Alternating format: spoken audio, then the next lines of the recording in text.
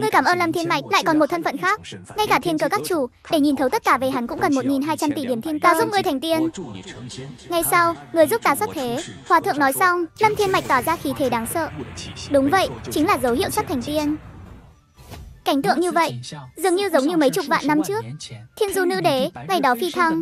Lần này dường như mạnh hơn. Hiện tại thành tiên phi thăng thiên giới đã không còn ý nghĩa gì nữa. Vì đã trở về thiên hoang giới. Vậy thì giải quyết một số loạn tượng đi. Thiên hoang giới chiến loạn bao nhiêu năm rồi? 32 vạn năm 9.700 năm, hơn 30 vạn năm, không ai có thể thống nhất. Xác lập thiên hạ, các ngươi thật là một đám phế vật. Thượng tiên thả mạng, ngươi họ gì, tên gì, lão sư dạy ngươi ở đâu, sao có thể nhớ rõ thời gian như vậy? Tiểu bố là hậu duệ của mục vương triều trước, không phải nối mục vương phủ, mục vương đời đầu, còn từng được lâm thiên mạch kiếp trước ban ơn. Bắt đầu từ bây giờ, hãy do người thống nhất thiên hoàng giới. Những trở ngại khác, ta sẽ giúp ngươi dọn dẹp từng cái một. Sau này hy vọng ngươi đối xử tốt với dân chúng của mình. Nếu không, ta sẽ thu hồi tất cả. Không biết tiền bối vì sao lại giúp ta, ta với mục vương đời đầu có ân cứu mạng. Hắn, hắn, hắn là thiên du nữ đế Lâm Thiên Mạch. Sau khi giải quyết kẻ gây chiến tranh thiên hoàng giới, liền bay về vạn giới hải. Hiện tại đã thành chân tiên, vậy thì đi giải quyết yêu ma chưa bị trấn áp trước kia đi.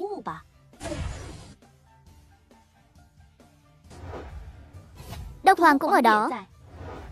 Sức mạnh của người yếu hơn ta một bậc, ngoan ngoãn để ta nuốt người đi. Ta là Khôi, nhưng Khôi không phải là ta, ta là Độc Hoàng. Sẽ không để ngươi dễ dàng như vậy đâu. Thì ra là như vậy. Thì ra là muốn dung hợp thân thể. Trên địa bàn của ta, Ngươi còn muốn lắc kèo Ta vất vả mới đổi được tin tức từ thiên cơ các. Làm sao có thể để ngươi chiếm lợi?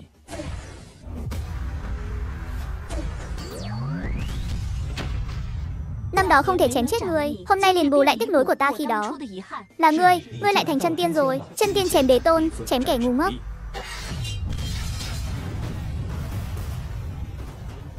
Lâm lâm đạo hữu có thể giao hắn cho ta không? Ngươi muốn nuốt hắn? Vậy thì ta ra tay Chẳng phải là đang giúp ngươi sao? Lâm tiền bối Trước kia là lỗi của ta. Ta nguyện bù đắp. Hy vọng tiền bối có thể thành toàn ta. Như vậy Ngươi nợ ta một ân tình. Không vấn đề gì. Cảm ơn tiền bối thành toàn.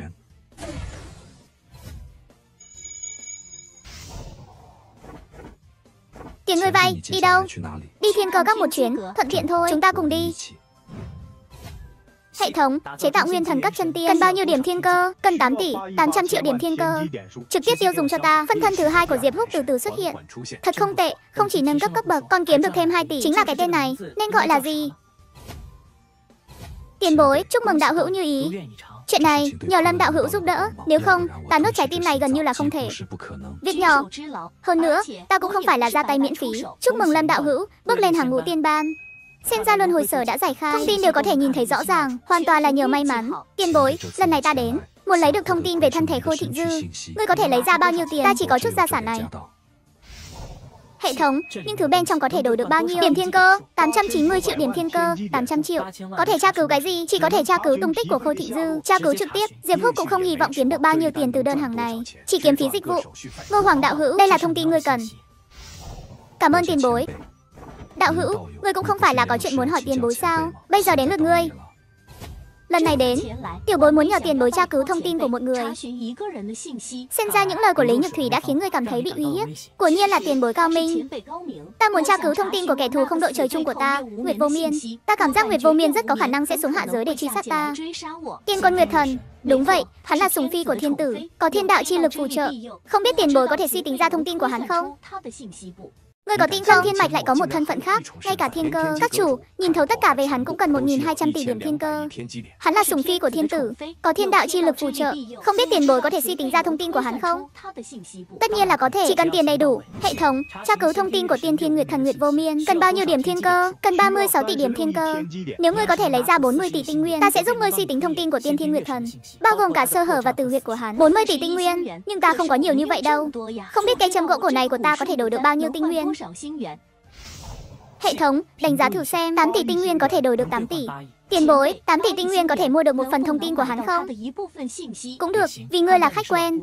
Lần này ta sẽ làm một vụ lỗ vốn. Gần đây những đơn hàng đều không kiếm được bao nhiêu tiền, nhưng làm ăn mà, cũng bình thường. Hệ thống, tra cứu một phần thông tin của tiên thiên nguyệt thần. Tiêu hao 8 tỷ điểm thiên cơ, tra cứu thành công. Nguyệt thần hiện tại đã là tiên tôn cảnh. Khi Lâm Thiên Mạch kết trước, đã trọng thương nguyệt thần. Sau đó bị thiên tử cứu giúp. Trong sách đều có ghi chép thông tin. 1.200 vạn năm trước, lúc đó Lâm Thiên Mạch đã có thể trọng thương nguyệt thần. Hệ thống, tra cứu thông tin hoàn chỉnh của Lâm Thiên Mạch. Cần bao nhiêu điểm thiên cơ? Cần 1.200 tỷ điểm thiên cơ. Sao lại nhiều như vậy? Tra cứu tung tích của nữ A cũng chỉ có 200 tỷ điểm thiên cơ thôi. Thân thế của Lâm Thiên Mạch lại cần ta 1.200 tỷ điểm thiên cơ. Xem ra Lâm Thiên Mạch không chỉ là chuyển thế. Tiếp thứ hai, chẳng lẽ cô ta là một người siêu thoát chuyển thế? Nói đến, hòa thượng kia rốt cuộc tại sao lại giúp Lâm Thiên Mạch? Thật là càng ngày càng rối.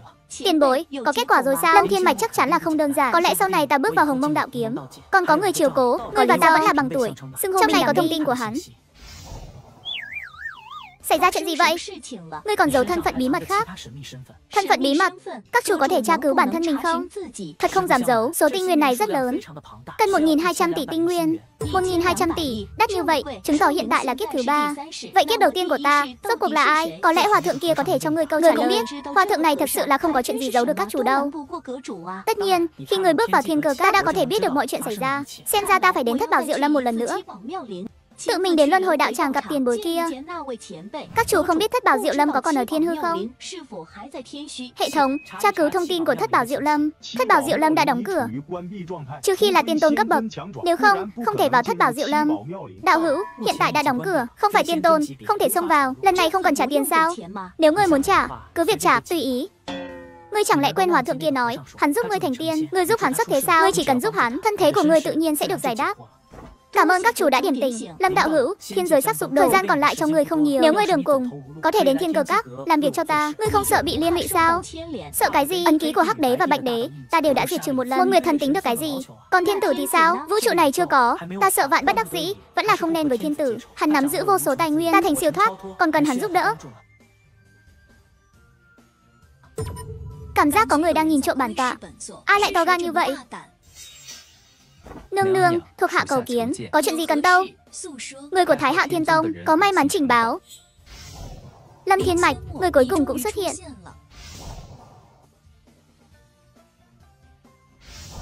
Bệ hạ, Lâm Thiên Mạch đã xuất hiện. Bao nhiêu năm qua đi, tầm sát của ngươi không hề giảm bớt. Xem ra, hắn đã trở thành tâm ma của ngươi. Loại bỏ hắn, con đường tu tiên của ngươi coi như kết thúc. Cho nên ta muốn xuống hạ giới giết chết kẻ này. Lâm Thiên Mạch không phải là người bình thường. Ta phải giữ lại hắn. Ta muốn giết hắn. Ngươi muốn giúp hắn. Cho dù không giúp hắn, ngươi cũng rất khó giết chết hắn. Hơn nữa, còn một năm dưới nữa, thiên giới sẽ sụp đổ, hiện thực sẽ áp bức hạ giới hỗn loạn, gây ra tai họa cho chúng sinh. Nhân tổ đã đang bố trí, muốn cứu vớt thế giới khỏi nguy cơ. Nếu ngươi lộ diện, nhân tổ nhất định sẽ đối phó với ngươi. Không phải có người ở đó sao? Bây giờ ta liền đi xuống hạ giới giết Lâm Thiên Mạch. Thật sự là không biết phải làm sao với người Đi đi